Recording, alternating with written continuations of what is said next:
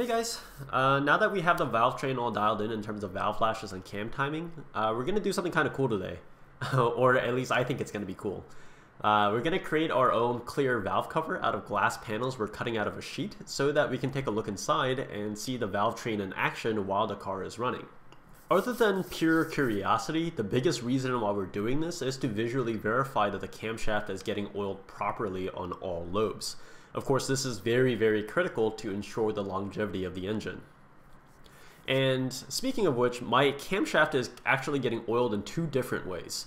The camshaft itself is an internally oiled unit, so at the tip of each camshaft lobe, there is a hole that pushes out oil constantly that keeps the lobe lubed when it's getting pushed against the rocker arm. Second, there's also a spray bar that is installed parallel to the camshaft that literally sprays streams of oil directly at the contact point between the cam lobe and the rocker arm. So we're going to be able to visually verify that both systems are in fact functioning correctly by being able to peer inside the valve cover while the car is running and revving. I really can't take all the credit for this idea though. Uh, Dave, one of my favorite and most knowledgeable viewers, um, suggested that I actually create an open top cardboard box that I would place on top of the head so that I can peer inside as the engine runs. However, he also mentioned that the camshaft threw oil everywhere and made a mess when he did it. So I started looking around for a clear valve cover that I can buy, but um, surprise, surprise, they really only make those for small block Chevys.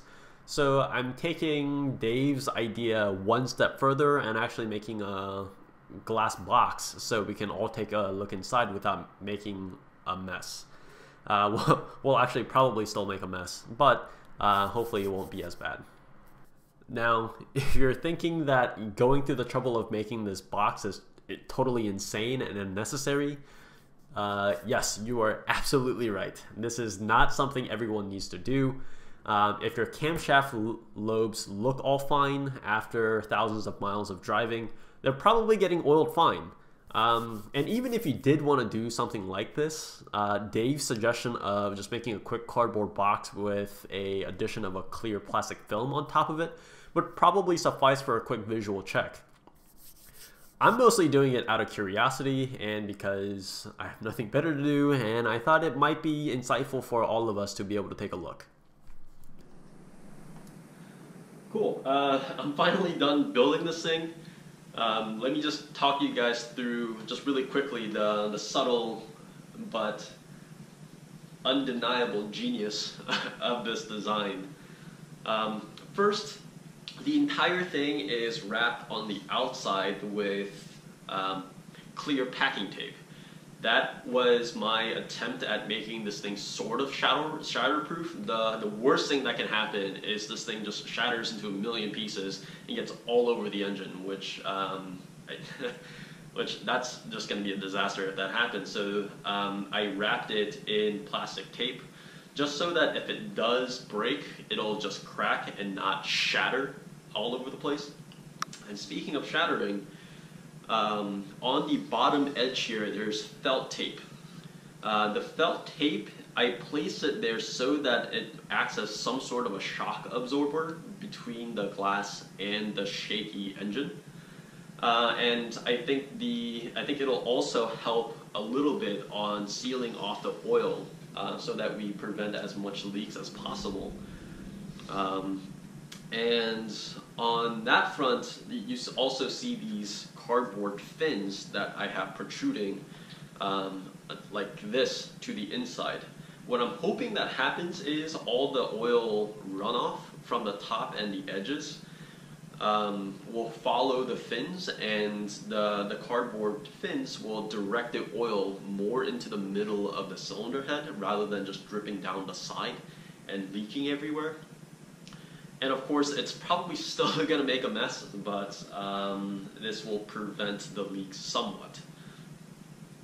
And all the edges, or the joining edges, have been taped three times over to make sure that I don't cut my hands and this thing holds uh, fairly strong. And lastly, in all of the inside corners, I placed in the, the black oil-proof gasket, uh, or the silicone gasket material, all on the edges so that it um, seals in the oil a little bit better. Now, we're not going to be able to run the engine all the way to operating temperature in this thing. Hopefully, uh, what we're going to be able to do is just place this on, turn on the engine, run it for maximum two minutes. That'll be long enough for us to just um, visually inspect everything, make sure that the oil spray bar is working correctly, all the camshaft lobes are getting enough oil. Um, and it'll be just be cool to look at for maybe a couple of minutes and then we'll shut the engine off well before the oil actually gets pretty hot.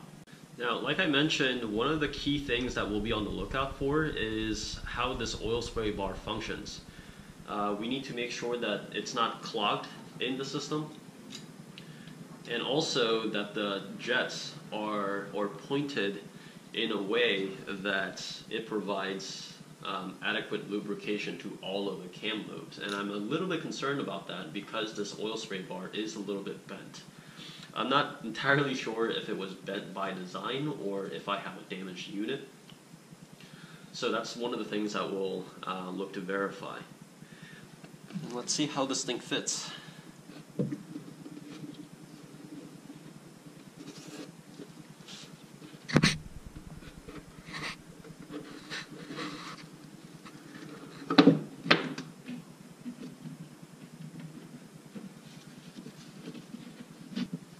It actually fits reasonably well. No, we definitely have to make sure that the box isn't touching the sprocket or the chain because that would be a disaster. All right, let's reconnect the spark plugs.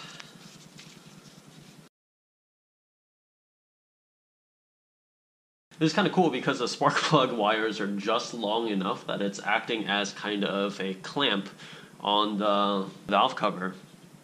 So hopefully it'll stay put.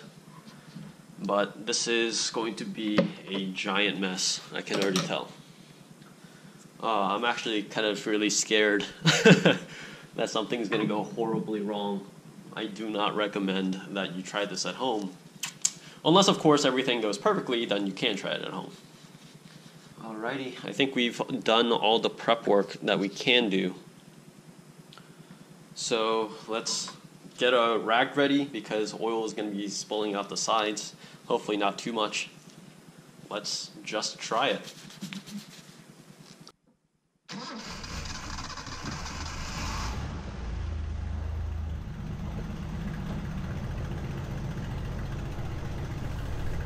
Alright, the engine obviously has a massive vacuum leak, so it's running pretty poorly, but it is running.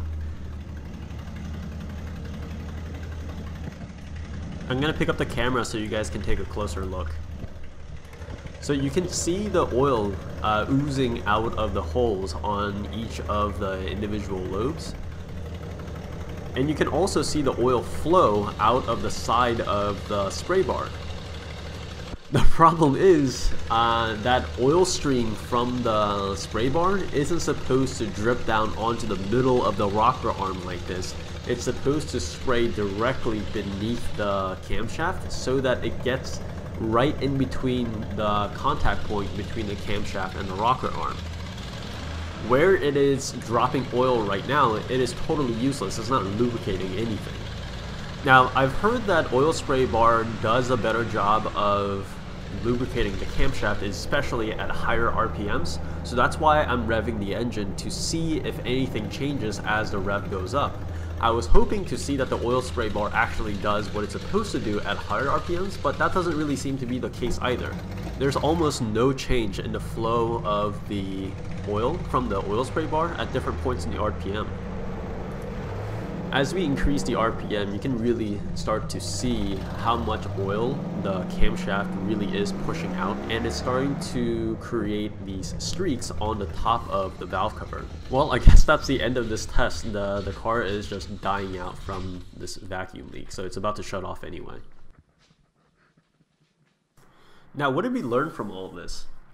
I initially did this test because I thought the oil spray bar might be too bent out of shape or there might be a clog in it.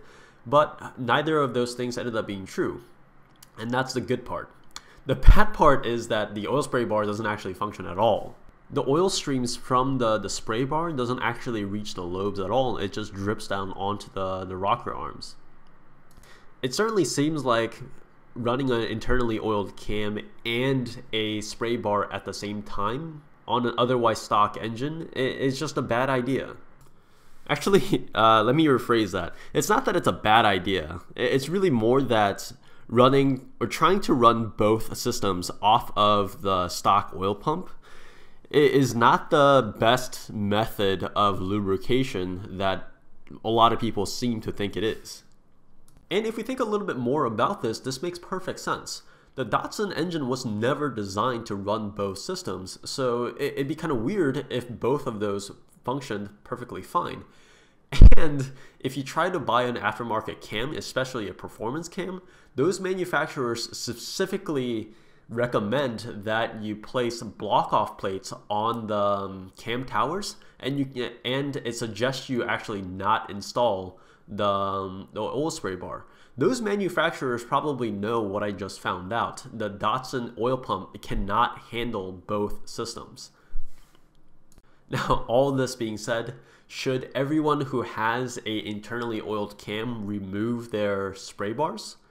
Uh, well, no, I don't think I, I don't think that either. I, I think the even though that the spray bar isn't working, I, I think there is enough oil flow coming out of the camshaft um, itself that the camshaft seems to be functioning just fine. And that's probably why people think that this is a totally fine method of lubricating the engine because they never did this clear valve cover check. They never actually looked at the functioning of the oil spray bar while the engine was running and every once in a while they'll just open up the valve cover and look at the camshaft and it'll be just fine because again these Datsun camshafts are super stout. So that's probably where this misconception comes from. But from my experience looking at my engine and visually expect, inspecting how this thing runs, there's really zero reason to run the oil spray bar if I don't plan on upgrading the stock oil pump to a high performance unit. So what I'm going to do is just actually just leave it alone for now. I am going to order block off plates uh, for the cam towers so I can just remove this um, pointless oil spray bar.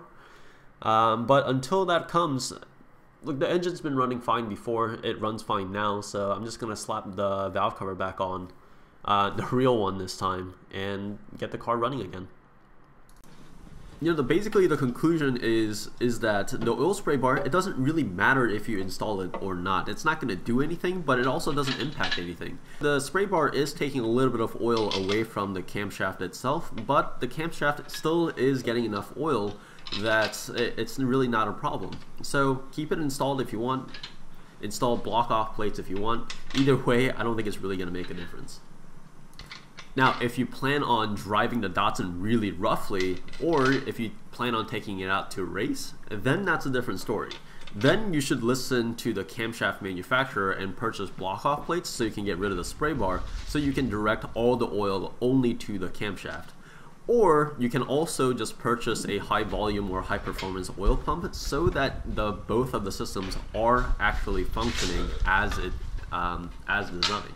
But that's an area that I have no experience in, so I can only guess. But I would imagine that having both a internally oiled cam and a properly functioning oil spray bar is probably the best method of lubrication in extreme conditions. I hope this discussion was helpful and that gives you a better idea when deciding how to lubricate your camshaft and valve train when you're building your L series engine. For the next episode, we're going to skip around our checklist a little bit and we'll conduct a compression test now that our valve train is all dialed in and I'll show you guys how to do that. Uh, see you guys next time.